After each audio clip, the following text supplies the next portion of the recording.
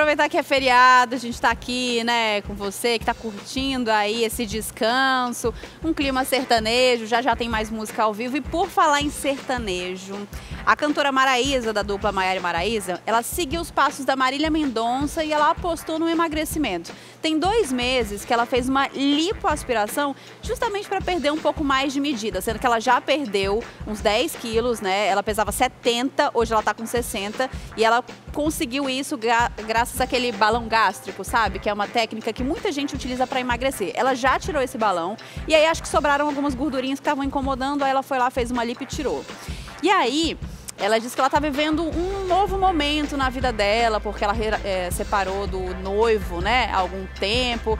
E aí eu fico pensando, gente, se a, quando a gente termina um relacionamento, a gente fica ali na sofrência, ouvindo aquelas músicas de vez em quando, como é que é para elas, né? Que ficam ali todo dia cantando aquela música de sofrência e ficam emocionadas. Será que é mais difícil? Ou como elas cantam direto, elas nem sentem mais? Eu sei que elas estão ganhando muito dinheiro, porque hoje o cachê da Maiara e Maraísa é um dos mais altos aí do mercado musical, principalmente do cenário sertanejo, e elas querem mais. Elas querem investir é, nas metrópoles do Sudeste. Inclusive, o próximo DVD elas estão pensando em gravar em São Paulo ou no Rio de Janeiro. Vamos ver aí onde é que elas conseguem e a gente vai mantendo você informado aqui. Eu adoro sertanejo, daqui a pouquinho tem mais ao vivo aqui no palco. E da Maiara e Maraísa, principalmente. Elas têm músicas muito legais, né? E são muito animadas, muito, e uma simpatia. Agora o Dia das Mães está chegando. Vamos falar de mamães? A Thaís Fersosa, ela tá grávida do segundo filho, agora é um menininho. E aí ela usou o perfil no Instagram para compartilhar uma foto antiga da filha Melinda, que é a primeira bebê que ela teve com Michel Teló, que hoje tem oito meses. Mas na foto, ela, olha aí que coisa mais fofa. Ela tinha quatro meses e ela diz: Nossa, pequenininha com quatro meses, dia das mães chegando e a mamãe aqui tá como? Super feliz, né? Porque ela tá com um no ventre e outro no colo. Ela tá, acho que ela se encontrou completamente como mãe. Eu acompanho inclusive o canal dela no YouTube e ela fala assim com um brilho no olhar sobre a maternidade e ela tá muito feliz, né, de ter conseguido formar um casalzinho, porque ela tem a Melinda, que é a menininha, e agora vem um menininho. E essa Melinda, gente, é fofa demais, né? Tem cada foto na internet dela sorrindo, parece até que ela posa pra foto. Ela já é uma artista. E por falar em fofura, a gente ama ver foto de neném, né? E os pais ficam ali encantados e ansiosos para fazer aquele ensaio fotográfico com recém-nascidos que se chama newborn. Só que a gente aqui do Amazonas gosta de coisas diferentes, de regionalizar. Então, tá tendo uma fotógrafa aqui na nossa cidade que ela tá apostando justamente num ensaio para bebês, mas num estilo regional. As fotos são temáticas e tiradas em cenários que representam a nossa cultura. Olha só quanta coisa fofa. Eles são fofos e, para os pais, cada carinha que eles fazem já é uma novidade. Quem resiste a um bebê? Se for recém-nascido, então, a gente fica babando. Não é à toa que os álbuns de recém-nascidos viraram febre entre as mamães que decidem registrar seus bebês logo nos primeiros dias de vida, de uma forma bem criativa. Tem xícara, tem eles na rede, no cesto. Mas você já pensou num bebê em um barquinho no encontro das águas? É assim, em cenários bem regionais, que essas mamães escolheram para fazer o ensaio de seus filhos. A foto do encontro das águas é do Arthur, esse bebê grandão que já nasceu com mais de 4,5 kg. A gente fez ele bem novinho, ele tinha 13 dias né, de vida. Uh, foi uma experiência nova né, para mim. Só de olhar, é, é, a gente acha super lindo, encantador né? Nossa cultura, o, o local onde ele nasceu, né? Com certeza ele vai gostar, né? Ele, quando for falar para ele do Encontro das Águas, acredito que quando ele for maior a gente vai levar ele, né? Para conhecer também. A ideia é desta fotógrafa. A Juliana é apaixonada pela profissão. Fazia fotos de eventos, aniversários e casamentos, até descobrir o newborn e se encantou pelos bebês tanto que foi atrás de um diferencial. Eu fui analisando que em todo lugar era tudo igual. É aquela foto do bebê na prop, com o capuzinho, a roupa era igual em todo lugar, porque eu tem dois fornecedores no mercado e vende para todo o Brasil. Aí eu, não, tem que mudar, né? Como mudar. E foi quando a gente parou para analisar a cultura daqui, que a cultura regional é uma cultura muito rica. É, tem o encontro das águas, o boi bumbá, gente, o boi bumbá é lindo. E onça pintada, cupuaçu, pegar coisas da Amazônia. Primeiro a ideia veio pro Amazonas, né? Aí não, a região amazônica como um todo, ela é rica demais, tem o açaí, castanha do Pará, vamos procurar pegar toda a região no total. A primeira ideia veio do encontro das águas, né? Mas aí como trabalhar o encontro das águas? A dificuldade era muita. A gente procurou pesquisar no Google, ver se tinha algo que desse alguma ideia. Não tem nada, nada, nada, nada. Aí, cara, a gente vai ter que criar. Então veio a ideia, por que não fazer uma mistura e encontrar água na hora da foto? Aí as meninas pularam, não vai dar errado, não vai dar certo, porque todo mundo muito preocupado com a qualidade do trabalho. E daí eu falei, não, vai dar.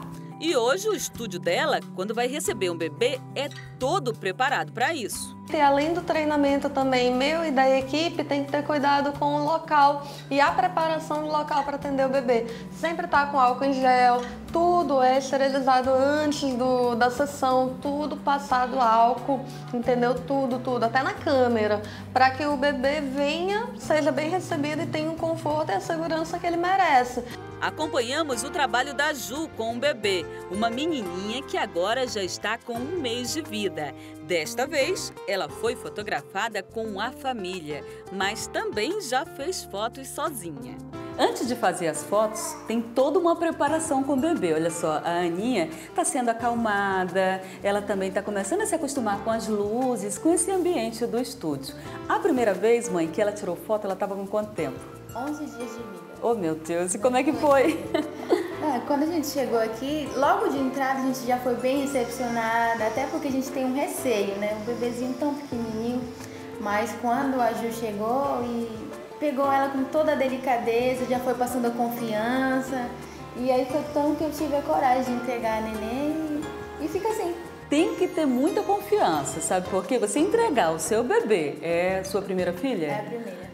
Com poucos dias na mão de um estranho, tem que confiar, né? Tem, tem sim. E o resultado, o que, que você achou? Foi maravilhoso, ficou lindo, o ensaio dela foi lindo, a foto ficou um arraso. E olha só o Jó. A foto dele fez tanto sucesso que vai concorrer a prêmio. A mãe fica só corujando. Na verdade, Tayana pretendia fazer um ensaio fotográfico grávida, mas o Jó teve pressa, nasceu antes da hora. Então a mãe não perdeu tempo e já fez até agora dois ensaios com ele. O da onça me encantei mais e mais, que essa aí foi o segundo book. O primeiro foi do Arena.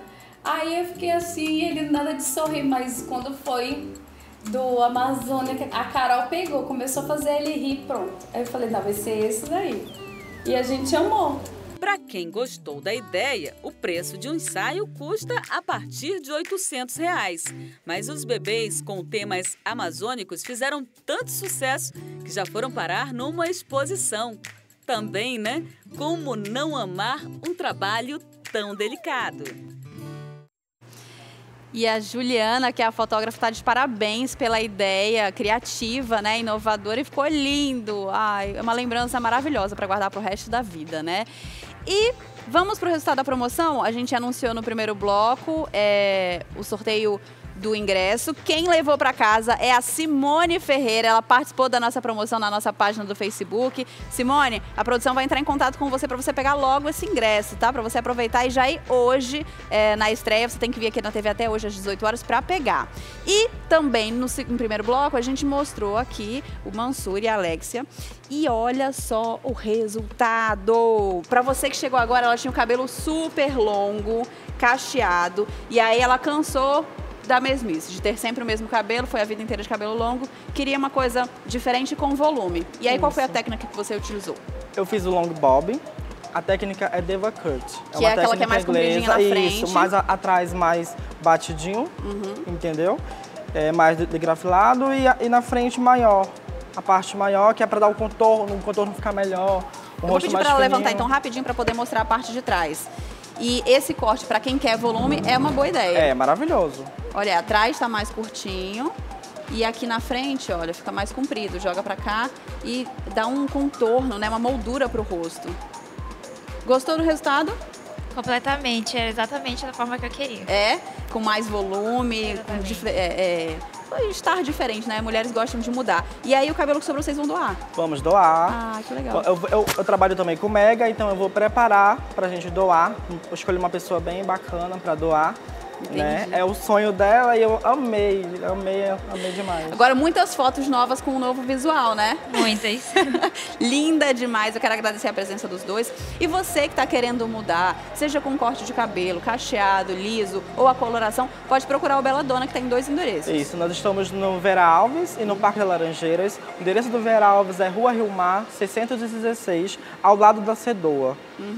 O telefone está aparecendo aí no seu vídeo para você ligar e marcar horário. Hoje está funcionando o feriado? Sim, tá assim, Olha! normal, amanhã também. As e chegou unidades. isso, chegou novos produtos maravilhosos Então para aproveita cacheados. que você está com tempo para poder ir lá cuidar do seu cabelo. Obrigada, parabéns pelo trabalho, Nada, parabéns que você ficou obrigado. ainda mais bonita. Muito obrigada.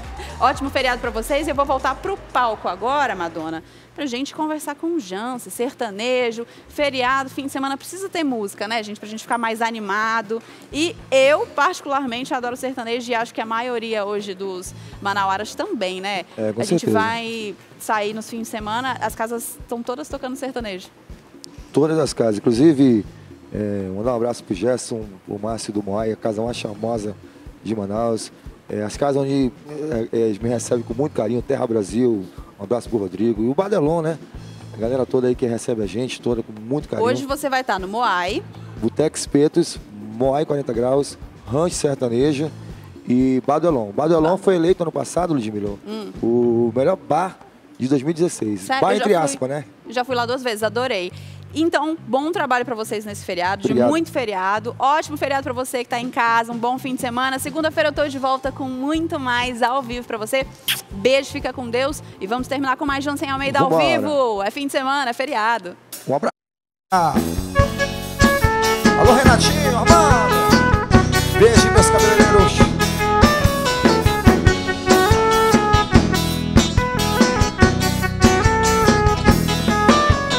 Sabe aquela hora no show e o cantor pergunta quem tá solteiro? Hoje eu não levanto o dedo, eu não vou sobrar. Eu não tô por desespero, vou selecionar. Depois de tomar uma cora de bem E aquele chicletinho que é pra ficar bem. Agora é com você, é só me responder. Dá uma passa no som que é pra eu dizer E essa boca aí, ela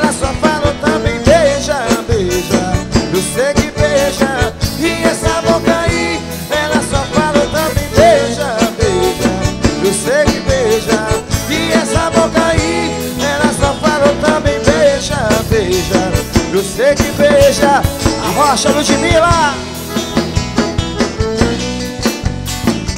sei que beija Simbora! Pra cantar comigo eu chamo meu primo José Brito Isso!